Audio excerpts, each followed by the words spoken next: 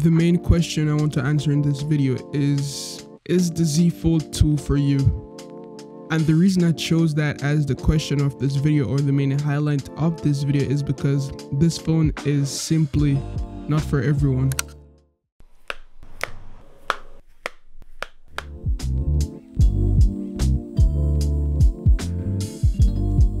The first thing that pushes people away from the Galaxy Z Fold 2 is the asking price of $1,999 for this thing right here. So from there and then, you can already tell this isn't a normal phone because no normal phone cost upright of $2,000. But for some people, that price is justifiable. The Z Fold 2 is a very beautiful phone and also it's fragile at the same time. Now don't get me wrong, this phone is built with a lot of high quality materials like for example the glass is Gorilla Glass, Corning, Corning Gorilla Glass as well. And also it's built out of aluminum and it feels premium of course. But due to all the folding parts this phone isn't rated for any water or dust resistance.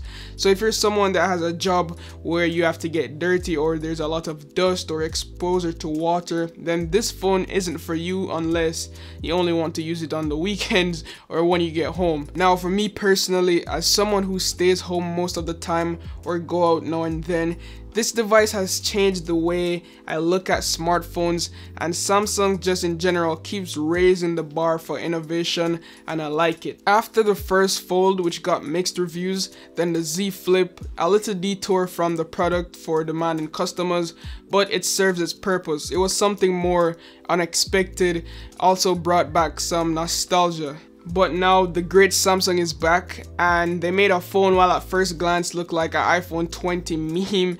When unfolded, it turns into a large, fully usable screen. So when the Fold 2 is in its so-called like cover screen mode it comes in at just 6.2 inches but it's very narrow and it's kind of limited to use as a phone now the keyboard also on the front screen is very small to type on and viewing content and media is just not the overall best experience. Sometimes I'm forced to use the cover screen when I'm out and about in real world usage. You can't always have the time to unfold your device to use it. So when I'm checking notifications or answering calls on the run, you know, that's what I mostly do on the cover screen. For me, there's no issue, but when I have like the time to sit down unfold the device and use it. I never really try to force myself through the pain to use the cover screen as like my phone, you know? So I always spend most of my time unfolding the device and using it in the tablet mode. So when you unfold the device, you get a larger 7.6 inch 120 Hz display and man it's gorgeous. The screen also emits blue lights so it's perfect for viewing content for long like long periods without eye strain and yes you could see the line in the middle it's still very steep not only in appearance but especially in touch. Now, I can see this being an issue for most people, but for me, I always forget it's there and you can truly see the line in the middle if you look for it or when viewing the phone at different angles which I never really do because I always just view my phone from front on. Now the typing experience on the larger display is also really good but I use a third party keyboard called Gboard. I like the swipe to type feature on Gboard and it also doesn't break the keyboard into half like the default Samsung keyboard does. I'm not sure if you could turn that option off but the the way how Samsung breaks the keyboard in half is not really ergonomic in my opinion. The fingerprint reader could not find a place directly on the screen due to the insufficient sophistication of the folding technology. Instead it was placed on the side of the device. It works really well and it stands out really nice looking good on the side where the power button lies as well. Samsung's multi-window system is a vital like experience with the Fold 2.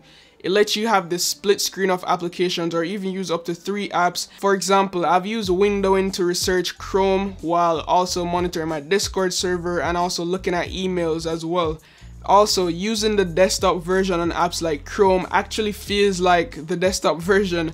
I don't have to be zooming in and out of pages to see content like what I usually do with regular phones. Now, when watching YouTube videos on regular devices, I hate that I can't read the comments while watching the video at the same time. But with the Z Fold 2, it has like this flex mode support, so I can fold the phone into half and watch content while looking through the comments at the same time. But with most apps like Twitch, it's still not supported for flex mode, which sucks.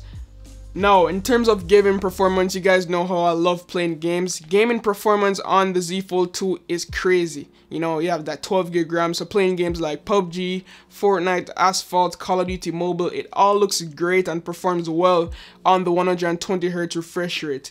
The vivid colors and sharp details is there, it looks great, paired with one of the best sounding speakers on any smartphone that I've ever tested to date and that can make me safely say that the Z Fold 2 is probably the best smartphone a mobile gamer can own right now. The only thing that could compare is offerings from OnePlus in my opinion.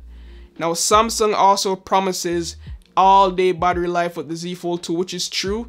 I got through full days with this device and the Z Fold 2 also combines two batteries. So when you like basically it has one half of a battery on this side and also one battery on this side which both adds up to 4500 milliamp hours now to me the camera situation on this phone is crazy. There's a total of five cameras on this device. There's three megapixels on the rear and also two 10 megapixels on the front. And also when you unfold the device there's another camera in here which is crazy. Now samsung probably makes the best smartphone cameras for like for example the Note 20 Ultra alongside Huawei with their P40 Pro. But for me this camera on here is it's pretty average now, it also has cool camera features though in the camera app, like you use in flex mode for the camera, which basically lets you take a picture or a video from weird angles. And the flex mode also supports Samsung's auto framing feature, which is kind of good if you're making vlogs. Basically just keeps whoever is talking in frame and zooms in and zooms out. So wherever your head moves,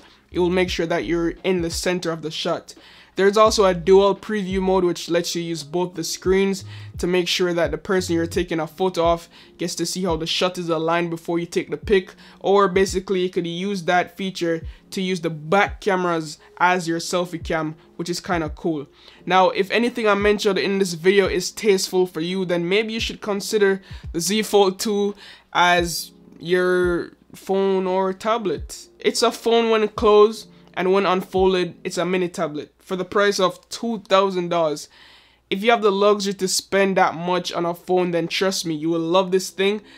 If you don't have the time to always sit down unfold the device and use it then to me it's pointless. If you're a business person and you're always on the go. I could see this phone being very powerful to you, like using Microsoft Words, checking your email on different screen, but in reality, as I said before, if you don't have time to sit down, unfold the device and enjoy the device, then what's the point of purchasing the Galaxy Z Fold 2? Because as I mentioned, when you close this thing, you get the smaller 6 inch screen right here and it's very hard to use. It's tacky. It's amazing. It's a step up from the previous phone, but then you have this bulky device, small narrow screen at the front. You could hardly use it like, you know? So yes guys, hopefully you enjoyed my review of the Galaxy Z Fold 2. If I missed anything, please let me know down below in the comments or if there's anything that you think Samsung could improve on this device, let me know down below in the comments as well. As always guys, love, peace, and tweaks. Signing out.